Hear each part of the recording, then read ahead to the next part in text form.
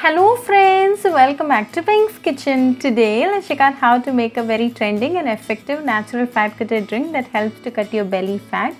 Very easy to make with a very few ingredients. So let's quickly check out the ingredients and get started. Pick some fresh oregano leaves. Just a bunch of 4 to 5 leaves should be good enough. Clean wash it and keep it ready. Oregano is a natural antibiotic, lowers cholesterol, is a powerful antioxidant, treats yeast infection, improves gut health, have anti-inflammatory properties, helps to relieve pain and has cancer-fighting properties. Add one leaf to the mug. Cumin seeds has anti-cancer properties, helps to treat diarrhea, controls blood sugar levels, fight bacteria and parasites, has anti-inflammatory effect, lowers cholesterol levels and aids in weight loss. Then to this add one cardamom.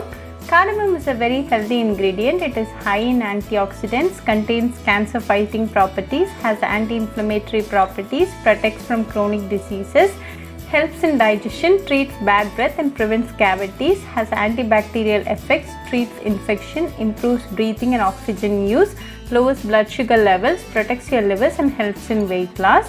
Then add 1 cup of hot water. The essence and benefits of the ingredients are getting extracted to the water. Cover and rest for 5 minutes. After 5 minutes open and check the ingredients are well soaked. Strain and add it to the same mug.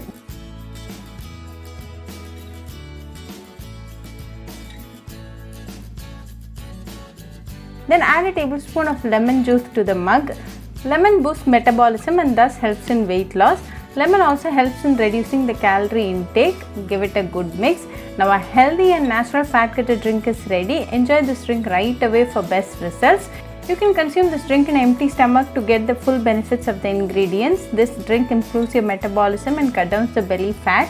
Very easy to make and a very healthy drink. This drink a day boosts your immunity. So do try this natural fat cutter drink at your home and write back to me your feedback. I'll meet you all with another interesting recipe. Until then, bye friends.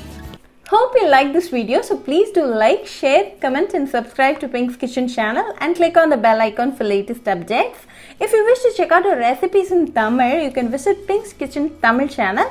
I'll be giving the channel link in the description box. Happy cooking and thanks for watching this video. I'll meet you all with another interesting recipe. Until then, bye friends.